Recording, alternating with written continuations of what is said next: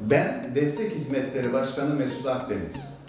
İç kontrol faaliyetlerinin yürütülmesinden sorumlu başkanlık olarak ekibim ile birlikte faaliyetlerimizi bakanlığımız misyon ve vizyonunun ışığında maksimum seviyeye ulaştırmak için elimizden geleni yapma çabasındayız.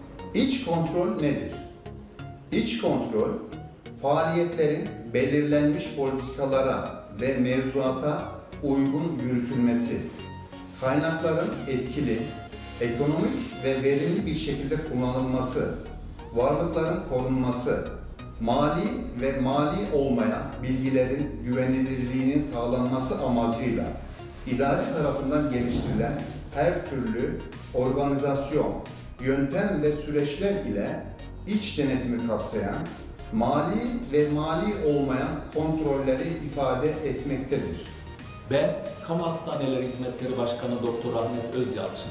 Ekibim ve ben iç kontrolün amacına uygun olarak çalışmalarımızı planlayıp hedeflerimize ulaşma çabasındayız. Bu bağlamda iç kontrolde amacımız kamu gelir gider varlık ve yükümlülüklerinin etkili, ekonomik ve verimli bir şekilde yönetilmesi, kurumumuzun kanunlara ve diğer düzenlemelere uygun olarak faaliyet göstermesini sağlamak, her türlü mali karar ve işlemlerde usulsüzlük ve yolsuzluğun önüne geçmek, karar oluşturmak ve izlemek için düzenli, zamanında ve güvenilir rapor ve bilgi edinilmesini, varlıkların kötüye kullanılması ve israfını önlemek ve kayıplara karşı korunmasını sağlamaktır. Halk Sağlığı Hizmetleri Başkanı Doktor İsmail Kılıç. Ekibim ve ben faaliyetlerimizi iç kontrol standartlarıyla harmanlayarak hedeflerimize ulaşma çabasındayız. Bunlar nelerdir derseniz, iç kontrolün standartları KOSO tarafından oluşturulan ve kontrol ortamı, risk yönetimi, kontrol faaliyetleri, bilgi ve iletişim ile izleme olmak üzere 5 bileşen 18 standart ve bu standartlar için gerekli 79 genel şarttan oluşmaktadır.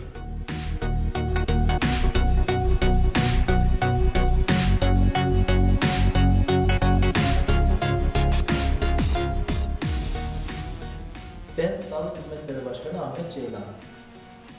Sağlık Hizmetleri Başkanlığı olarak hedeflerimize etik davranış ilkeleri çerçevesinde iç kontrol standartlarını uygulayarak ulaşmaya çalışıyoruz.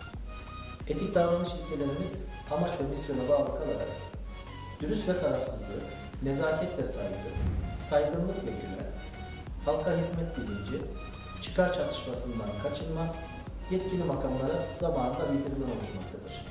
Hepinize saygılar sunuyorum. Ben Personel Hizmetleri Başkanı Mustafa Saleh. Biz de ekip olarak faaliyetlerimizi iç kontrol standartlarını uygulayarak ve etik davranış kuralları çerçevesinde yürütmekteyiz. Etik kurallara devam edecek olursak, görev ve yetkilerin menfaat sağlamak amacıyla kullanılmamasına dikkat etmeliyiz. Kamu malları ve kaynaklarının kullanımına özen göstermeliyiz. Savurganlıktan kaçınmalıyız. Hediye alma ve menfaat sağlama yasağına harfiyen uymalıyız. Bağlayıcı açıklamalardan kaçınmalı ve gerçek dışı beyanlarda bulunmamalıyız. Eski kamu görevlileriyle ilişkilerimize dikkat etmeliyiz. Bilgi verme, saydamlık ve katılımcılık çalışmamızın esası olmalıdır. Yöneticilerin hesap verme sorumluluğunu unutmamalıyız. Mal bildiriminde bulunma zorunluluğunu yerine getirmeliyiz. Kayseri İl Sağlık Müdürlüğü yöneticileri olarak misyonumuz insan merkezli yaklaşımla birey ve toplumun sağlık hakkını ve sağlığını en üst düzeyde korumak. Sağlık sorunlarına zamanında uygun ve etkili çözümleri yüksek hizmet kalitesiyle sunmak. Vizyonumuz ise sağlıklı hayat tarzının benimsendiği, herkesin sağlık hakkına kolaylıkla ve yüksek hizmet kalitesiyle erişebildiği bir Kayseri.